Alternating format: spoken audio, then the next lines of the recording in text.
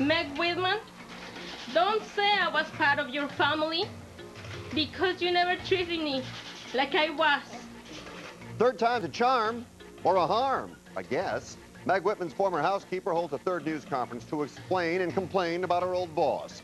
Why in the world do we need three news conferences for this? Everyone seems excellent. I, I get nothing but praise. Uh, I think the only people who are against me are the people who I'm running against. So I've really only heard positive stuff. Well, it's not all positive, but lots of response after Irvine's 19-year-old city council candidate appeared on yesterday's show. Some love him, some hate him. We'll let you decide for yourself. Plus, I made this proclamation. I said, if anyone here mentions politics again, or political consideration for a decision to be made in this office, you won't be here next week. We do the right things for the right reasons, period. Tough on City Hall, tough on crime. City Attorney Carmen Trutanich just cracked down on criminals in his first year in office.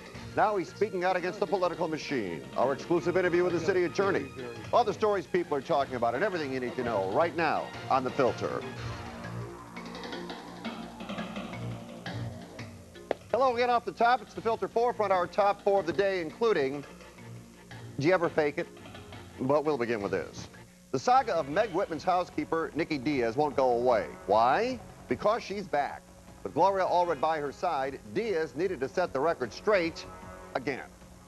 I make my own decisions. I'm not anyone's puppet.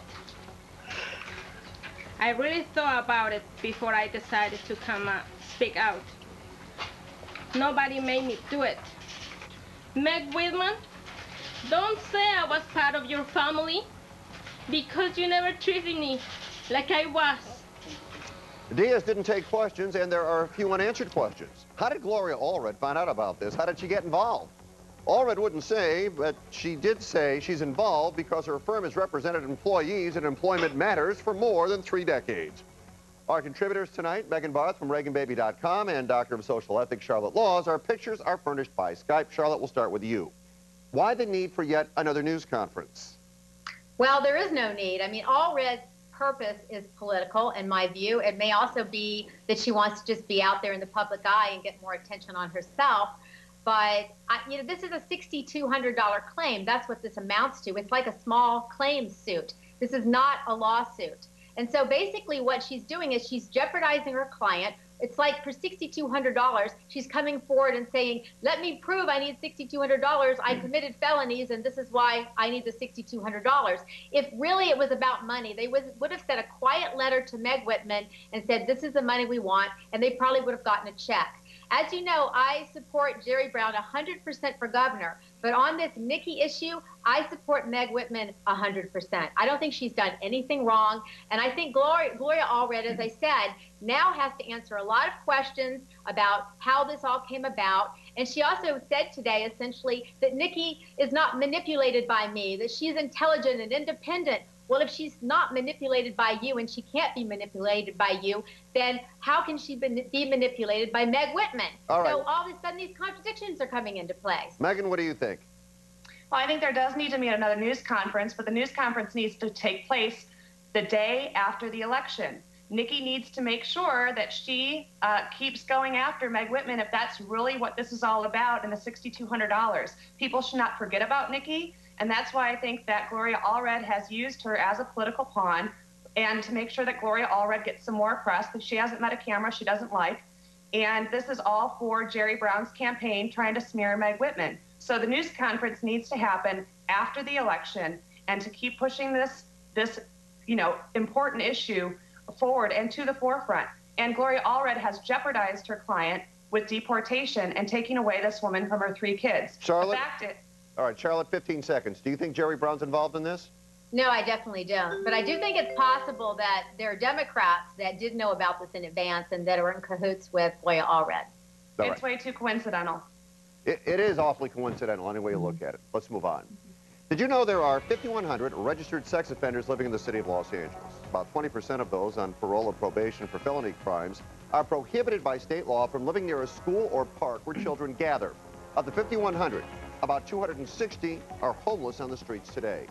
Some of the sex offender population has come to LA from other places because they have passed additional laws making it possible for some to find places to live. Megan, does Los Angeles need tougher laws when it comes to sex offenders? Well, if they pass tougher laws, then where do these people go? Do they go to the, the neighboring city, and then the neighboring city has this problem as well, and then they pass tougher laws? What really I think But that's why they came done- here. That's exactly why they came here, for that very Well, reason. Well, exactly. So where are they going to go next? It really doesn't address the problem and the categor- categorization of these. And and what I did find was in Texas, uh, out of the state capital, out of Austin, in 2007, they they passed a new law which actually. Uh, categorize sex offenders in a different way. Instead of a 18-year-old boy having sex with a 15-year-old girl and having the same penalty and categorization as a 35-year-old woman abusing a 5-year-old child, they categorize these sex offenders differently, which allowed them perhaps a better opportunity to find housing or to find jobs. And that perhaps is what LA needs to do is to maybe enforce the laws in a different way, change the laws in a different way so they can provide different categories for these sex offenders and make sure that the most egregious sex offenders have worse um, categorization than, uh, say, someone like an 18 year old boy having sex with an underage girl. Charlotte? And, and then I think you can get down to recidivism rates at, at, at a better in a better method. All right, Charlotte, 45 seconds. What do you think? Well, I, I agree with the changing the categorization, and I come down on the side of practicality. I actually do agree with you, Megan, that this is a real problem because there's some neighborhoods where 90% of the apartments and houses are too close uh, to a school or a park, and therefore the sex offenders can't live there. So where are they supposed to live? I think that society needs to stop being so emotional about the issue and sit down and really analyze it and say, do we want a few people in this neighborhood, or do we want to put you know, a few people in each neighborhood, or do we want to put But them all together Charlotte, in Charlotte, one area? Charlotte, Charlotte, it is an Yes. emotional issue. It is an emotional I know issue. it is, but you know, you got to remember, you don't have a database for ex murderers, so you may have 20 of them living on your street. You don't even know. So it's kind of like they're singled out and they're not given that opportunity to find a place to live. So they end up on the street homeless, and then there's a better chance that they're going to cause more crimes in the future. Well, I figure if we can track Lindsay Lohan's cocaine habit, we can track sex sex offenders. Well put. Who doesn't want a free lunch in life?